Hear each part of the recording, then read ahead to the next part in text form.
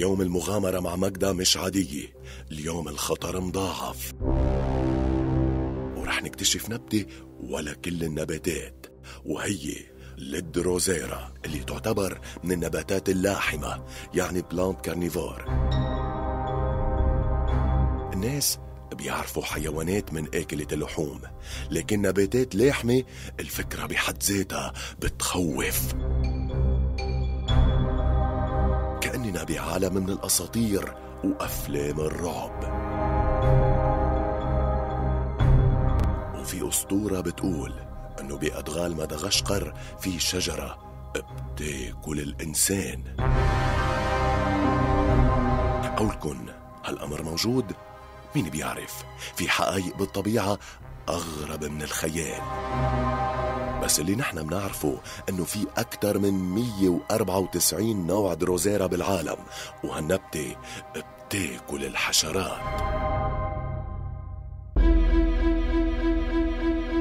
وقت خبرتنا ماجدا إنه هالنبتة موجودة بلبنان وتحديدا بأحراج بسكنتا فكرنا لو بلا هالمشوار بركي هالنبتة بتاكل أكتر من حشرات.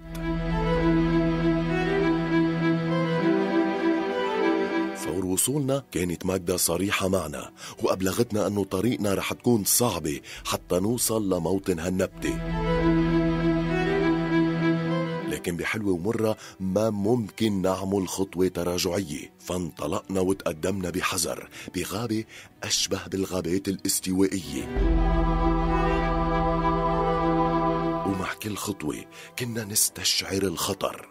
فمشينا بحذر مثل كأننا بحقل ألغام حتى وصلنا للنبتة الغريبة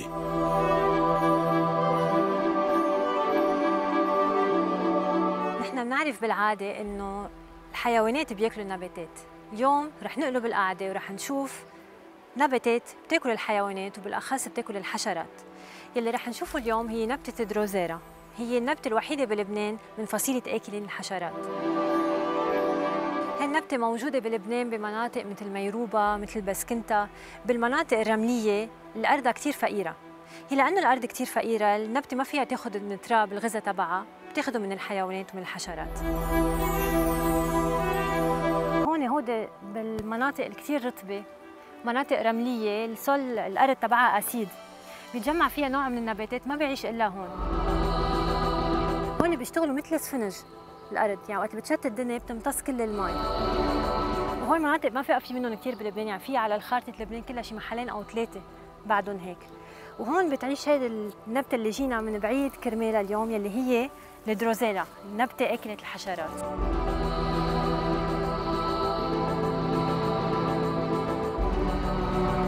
هيدي النبتة بدل ما تعمل وراق مثل كل النباتات الباقية اللي بيشبهوا هي حولت وراقها لهيدا الشيء على كل الوراق في وبر وعلى راس كل وبرة في مثل نقطة مي مثل نقطة الندى بس يشوفون الحشرات بفكروهم مي بيجوا ليشربوهم فتهن هودي تلزيق بلزقوا.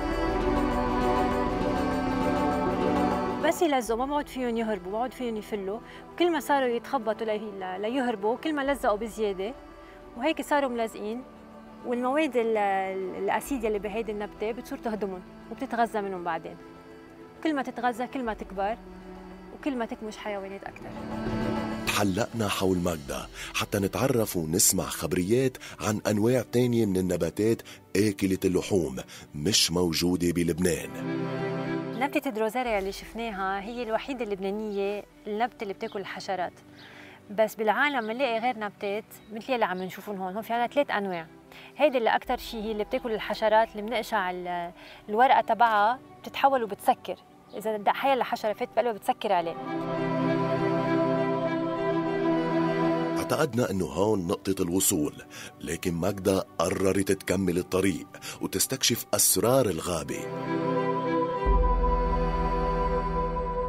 هودا من النباتات البدائية بسموهم بالعربي ذنب الخيل. إذا بدي صوم من هون بسمعوا هيك صوت الإزاز.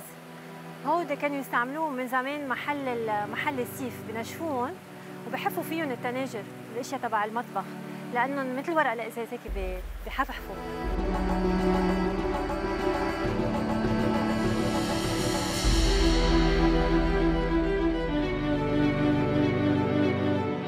النبتة اللي عم نشوفها هلأ اسمها رودودندرون اسمها شوي غريب بس زهرتها كثير حلوة.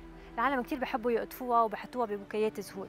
في عندها خبرية شوي حكي عنها كثير بالتاريخ. مرة الجيش اليوناني وصل على منطقة وعم يستحلها. ودير ما دار هالمنطقه هالضيعة كان في كثير من هيدا نوع الزهر من نوع الرودودندرون. بس وصل على الضيعة واستحل الضيعة فات واكل كل العسل تبع كل الأهالي. دغري شو صار بالجنود تبعه؟ كلهم صاروا يهلوسوا وصار عندهم مشكلة إسهال. شي يومين ثلاثة وراحت القضية والخبرية بتنعاد كذا مرة بالتاريخ. كيف صار هالشي؟ فات العسل يلي بيعملوا النحل. إذا كان بالمنطقة مثل هون ما في إلا هيدي الزهرة. العسل بيكون فيه كمية كبيرة من رحيق الرودودندرون وهيدا الشيء يلي بخلي العسل يعمل مشاكل هلوسه واسهال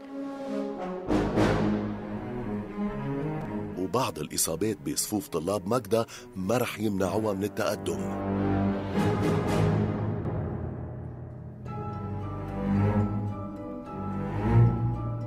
فجأة وصلنا على شلال. حسينا أنه انتقلنا لعالم جديد عالم من السحر والجمال الطبيعي.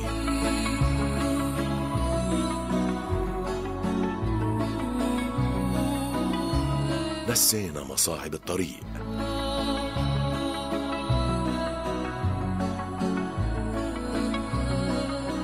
مشواري اليوم هو برهان. على إنه بعد في محلات بلبنان ما طالتها إيد الإنسان.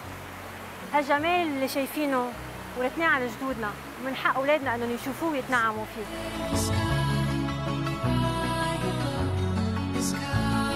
عيش كتير بتشوف كتير وبتسمع كتير وبتتعلم أكتر مع ماجدة. اللي بتحب تنقل خبرتها وشغفها بعالم النباتات لكل محب للبنان الأخضر.